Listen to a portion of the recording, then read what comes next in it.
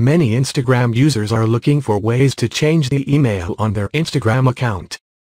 You may also want to change your email address for different reasons. Here how. Go to your Instagram profile and tap the Edit Profile. Scroll down and click Personal Information Settings. Your email address will show up. Tap on it to edit the email address.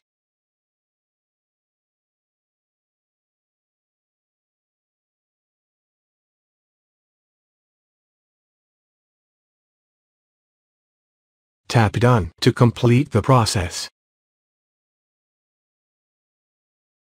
After changing your Instagram email address, you will receive a confirmation of your new email address.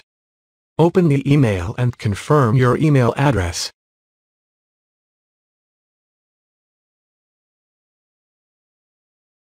That's it.